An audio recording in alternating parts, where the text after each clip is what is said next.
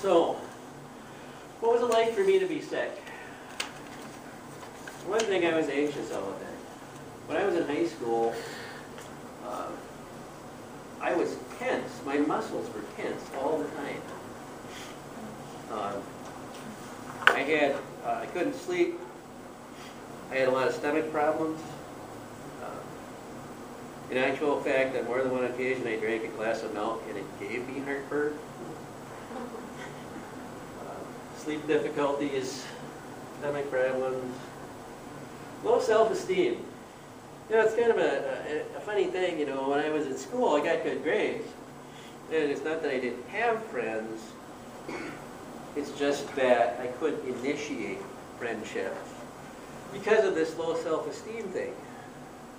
I never went on a single date in high school because the fear of somebody saying, no, I don't think so, was so huge for me, I couldn't ask someone. Um, peop- when I was in high school, I was involved in, in uh, plays and choir, I did some solo singing. I, I uh, just kind of made a little reputation as an artist for a while. And people said all kinds of complimentary things to me, and I didn't believe a single one. Why? Because I knew what I was really like. That's low self-esteem. And so then, when people come along and say, oh, that's really good what you did there, you think, well, yeah, okay, well, what do you want from me now? I was unable to initiate relationships. And then, I discovered that everything can be fixed if you just, you know, got a buzz on. Because alcohol is a fabulous anti-anxiety medication. So I'm not going to take a poll here of how many people at some point in their life said, no, I'm not going to dance yet, I need another drink or two. but I can tell that I'm not the only one. Right? So, you know, then I could go places and, you know, have a few and it's great. This is, this is the best stuff ever. Uh, the only problem with that is, uh, you know, like so many things in life, a little might be good, but a lot is not necessarily a good, a good deal. So I was unable to get my needs met, basically. And this is what happens is you get stuck, like I got stuck, and then you can't, on your own, you can't get unstuck basically, because it inhibits your ability to get your needs met. So, um, some years ago, uh, I was asked by Becky Rand, who uh, is one of the CD counselors at Woodland Centers, who incidentally is the person that did my CD eval 20 years ago. Um, so I'll talk about in a minute. Uh, she asked me to speak at the, little graduation ceremony for the, the people in the CD program. And uh, talk about, you know, what was, to what do you attribute your successful recovery? My belief in a higher power. I don't tell you how it works when you are, because being mentally ill is really lonely, first of all. Because what you have done is constructed walls around yourself that you cannot break through. So when you're sitting there at rock bottom, that's when you realize that you're not sitting there alone. So I did some thinking, and I thought, well, you know, I just can't believe in this uh, vengeful God theory. You know, maybe maybe the uh, the way it really works is that we make ourselves miserable, and maybe the higher power will help us when we start making better decisions. And it actually works that way. Um, So, next thing that happened to me is, I, coincidentally, I'm gonna use that term because personally I believe there are no coincidences, but, uh, things sort of appear. You know, it's like that old saying, uh, when the student is ready, the teacher will appear. Well, I was ready to hear what this guy, Jess Lair, had to say in his book, I ain't much baby, but I'm all I got. Um, he talked about the need for emotional intimacy. I- I'm going to use this blackboard over here. Um,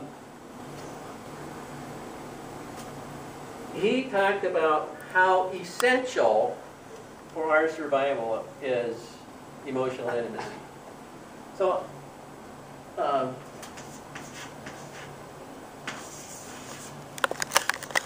this is you, and this is me. Okay? And what we do is we construct around ourselves layers of defenses. And I'm just going to draw a couple here, but really kind of an infinite number. Now, most of the time, this is what we present to the outside world, is this outer layer. Um, and so this is how most people see you. Now, one of my clients gave me the perfect example of this the other day in group, in which he had been on a pass because one of his relatives was on her deathbed, apparently. And so he was staying with some relatives that he didn't know well, and he was with his parents and so forth. And he said, you know, I mean, this guy's got all kinds of problems. He's a, has numerous children of his own, and his, you know, his wife uh, is a little reluctant about letting him come home, and so on and so forth. And there's, you know, some chemical use and so forth. So, for some reason, he decided that he was going to share something at a little bit deeper level, and he was going to say how he really was. Because, you know, people say, how are you doing? And we all say, oh, great. That's this layer right here. Well, you know, he's not doing great because he's in a treatment program for a reason. It's not an accident that he was there. So he tells her this.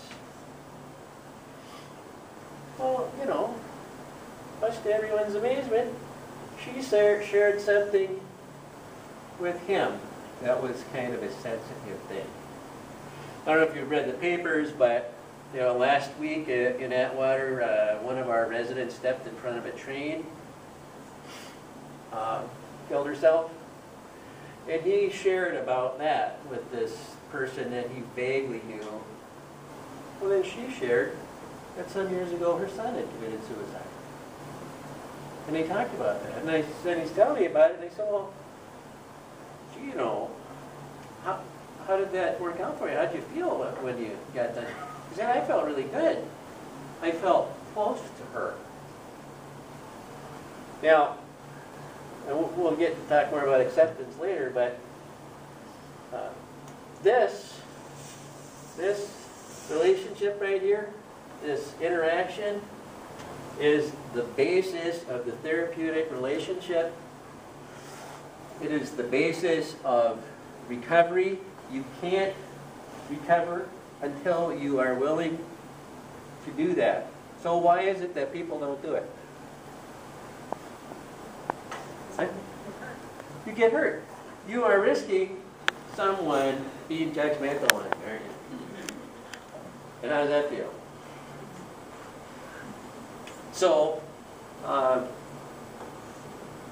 so that's why anyway. And, and he talks about all this in there. And so I started looking for people that I could share with that maybe I could get some acceptance back. Because if they're not being judgmental, then they're being accepting, right? And I wasn't really good at it at first, but I viewed it as a matter of life and death, and it is, as attested to by the person that stepped in front of the train last week, it is a matter of life and death. So I thought, well, I can do something that's really, really, really hard, or eventually it's going to kill me. And admittedly, I wasn't good at picking people to do that with. And, and sometimes, sometimes I had to use my anti-anxiety medication in a bottle to do it. But I got better, because guess what? It's a skill, and you practice it, you get better. Um, and what Jess Lair says is, it's the unconditional acceptance and love that does the healing. Now, there's a number of sources out there that will say um, that there is a natural healing process, and I have to agree with that, but you have to provide the proper conditions. It's, we're growing as an organism, let's say, and it's just like a plant. If you give it the right soil and the right, right water and the right uh, sunlight, it's going to grow. You give the human, uh, human being the right stuff, unconditional love and acceptance, we're going to grow. Ah, yes, transcendental meditation. Was I, as I mentioned earlier, one of my chief symptoms was I was tense all the time. I go to bed at night, I'm grinding my teeth, and it gives me a headache because I grind my teeth too long. And if you're grinding your teeth and you're that tense, you can't sleep. So I start reading about stress. So it's, to me, it's an interesting thing that, you know, I've talked to hundreds of people over the years who were uh, involved in my program. A lot of people will say, no, I don't have a mental illness. But virtually every one of those people that says that will say, but I'm really stressed out. It's sort of become, it's okay to be stressed out, because everybody's stressed out, but if I have a mental illness, then obviously, you know, with me. So that was me, I was really stressed out, and I'm tense. So I start reading about some, uh, there's a, another book, uh, they did some groundbreaking uh, uh, work in stress management. Uh, I think his name is. Um, and he talked about this uh, deep relaxation response that happens with transcendental meditation. So, you know, I did some research, and a few coincidences later, I'm in tran transcendental meditation class. And this organization, by the way, is one of the people who say that there is a natural uh, healing process that takes place if you provide the proper conditions. And what they were talking about is this deep relaxation response. And, and of course, uh, uh, this is the organization that the Maharishi started. And, you know, the Niels Guru. Looking around the room, I know that some of you people know who I'm talking about. So after I start, you know, they give you a mantra and, and, and you know, you sit quietly for 20 minutes and chant this mantra to yourself. But guess what? It works. You go into a deeply relaxed state. My sleep improved. I became less tense. Uh, and for a while, I thought, this is this is it. This is the ultimate. You know, I'm cured now. Now I can be normal. Uh, but um, the nature of things is that the universe sort of presents us with these little challenges that make us grow, and then once you get past that, well, guess what? There's there's another one.